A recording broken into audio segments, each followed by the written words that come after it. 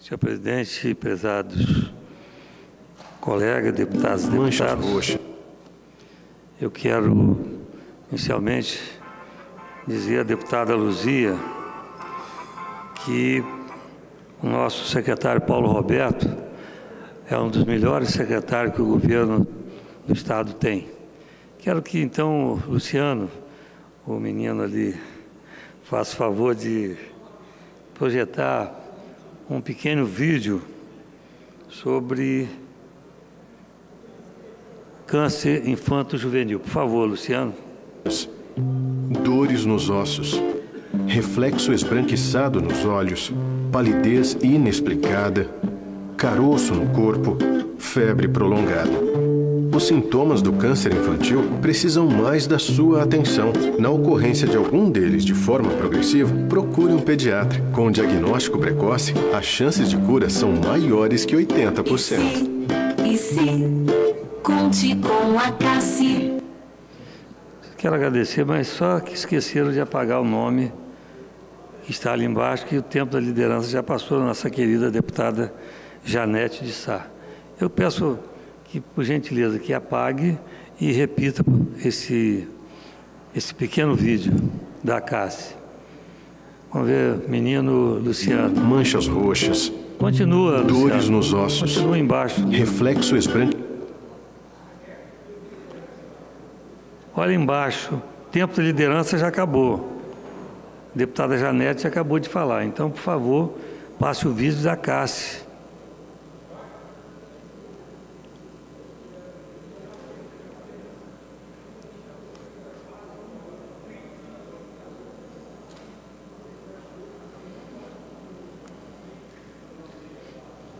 Muito bem.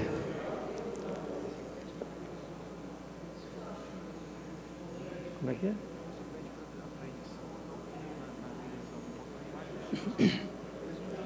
Eu peço também ao cinegrafista, por gentileza, que coloque o vídeo na televisão. Tire a minha imagem e coloque o vídeo da CASSE, Câncer Infanto Juvenil, por gentileza.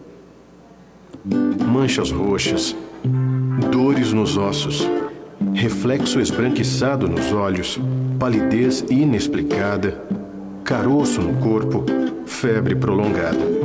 Os sintomas do câncer infantil precisam mais da sua atenção. Na ocorrência de algum deles de forma progressiva, procure um pediatra. Com o diagnóstico precoce, as chances de cura são maiores que 80%.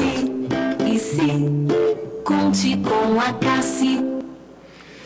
Muito bem, muito obrigado, Luciano. Amanhã, dia 23, é o Dia Nacional de Combate ao Câncer Infantil ou Infanto-Juvenil é, a esperança de um futuro mais feliz, naturalmente, das crianças com, com câncer e que nós projetamos ali os principais sintomas que as pessoas de casa, especialmente as mães, podem começar a observar esses sintomas que foram ditos.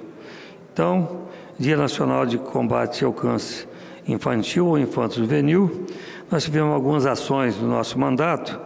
A Lei 10.508 institui o Dia Estadual de Alerta para o Diagnóstico Precoce do Câncer Infantil no calendário oficial do Estado, a ser comemorado anualmente no dia 1 de setembro.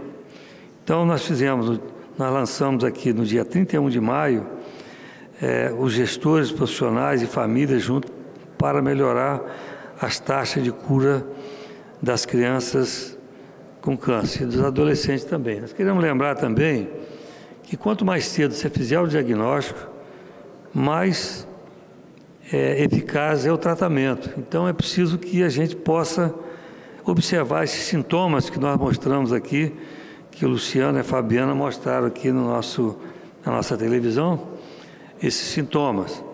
Uma criança com câncer, numa família de estrutura não só as pessoas de casa, da família toda e também da, da vizinhança. Então, o trabalho da Cássia é um trabalho muito importante que a gente quer, naturalmente, reverenciar esse trabalho. O problema da saúde pública no Brasil, câncer infantil, ele tem mais de 200 mil casos por ano no mundo. é, excluindo causas externas, é a principal causa de morte por doença na faixa etária de 5 a 19 anos. É, novos casos por ano. No Brasil, 12 mil novos casos por ano. No Espírito Santo, 156 casos. E com relação ao diagnóstico, já vimos aqui os sintomas, mas é bom lembrar que o diagnóstico precoce cura 80% desse tipo de câncer das crianças. Querendo parabenizar a CASSE, que desenvolve um programa de assistência integral às crianças, adolescentes e suas famílias, apoiando não apenas o tratamento, mas também oferecendo suporte econômico, social e psicológico a todos os envolvidos. Esse apoio garante a continuidade do tratamento dos pacientes e eleva significativamente a possibilidade de sucesso na luta contra o câncer. Nós queremos parabenizar mais uma vez a CASSE, é, a todos os voluntários, todos os funcionários da CASSE, por esse trabalho maravilhoso. Lembrar ainda que a CASSE, aqui, é bom aqueles que não conhecem esse trabalho importante, que lá tem abrigo para a criança que está fazendo normalmente o tratamento no Hospital Infantil Nossa Senhora da Glória, tem um abrigo para a mãe e tem um bercinho para uma criança que, porventura, a mãe leva lá um filho com 5, 6 anos com câncer, mas leva uma criança com 5, 6 meses amamentando. Então isso é muito importante mostrar que esse trabalho da CAS é ímpar e também lembrar que nós temos que oferecer emenda, emenda, verba, no sentido de que é, a gente possa dar mais apoio. Estamos trabalhando na, trans, na transferência de todo o setor de oncologia do Hospital Infantil Nossa Senhora da Glória para o espaço ocupado onde tem o pronto-socorro do HPM que o Hospital Infantil transferiu o pronto-socorro para lá, o Hospital Infantil Nossa Senhora da Glória, e que nós estamos lutando também com apoio também do secretário Ricardo Oliveira e a sua equipe no sentido de transferir também para dar melhores acomodações e tratamento essas crianças com oncologia, com câncer, no HPM, antigo HPM. Peço a Luciana que possa projetar outro, o, o outro slide, por gentileza. Nós queremos parabenizar uma policial, que é um ato importante de solidariedade, é o outro, esse aí é para a semana que vem. É isso aí, amamentação. Amamentar é um ato de amor importante e de solidariedade. Essa policial que nós estamos mostrando ali, ela mais à frente é o seguinte: mãe ajuda IPM amamenta recém-nascido com fome em batalhão. Sem produzir leite e sem ter dinheiro, mãe do bebê foi ao batalhão pedir ajuda. Ao ouvir o choro do recém-nascido, a PM se ofereceu para amamentá-lo. Olha que coisa linda uma policial dando o seu leite do seu filho para outra criança. Essa policial, ela amamentou o bebê em, lá em na cidade, ela, o nome dela primeiro, é Solidariedade, falou mais alto quando a soldada da Polícia Militar, Ana Lu, de 25 anos, encontrou é, uma mãe que não tinha condições de amamentar o filho recém-nascido, na manhã de segunda-feira, dia 20, em Guaçuí, na região do Caparaó. Diante dos choros de fome do recém-nascido, naturalmente, esse neném, a mãe não pensou duas vezes e amamentou a criança. Coloca, por favor, a foto da Ana Lu, que é um orgulho para nós, porque o leite não é só alimentação. O leite é transferência de anticorpos. Daí nós já fizemos, desde vereador em Vila Velha, uma, uma lei que dá 180 dias de licença para gestante, para mãe amamentar, ficar com a criança. 180 dias.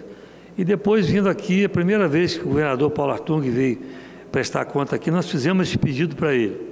Ele também deu para a mãe inicialmente para a mãe efetiva. Depois, esse ano, ele estendeu para todas, todas as funcionárias de qualquer tipo de contrato. Então, nós queremos parabenizar essa policial que é um orgulho para nós. É um orgulho para a mulher, é um orgulho para a mãe, é um orgulho para a polícia militar, enfim.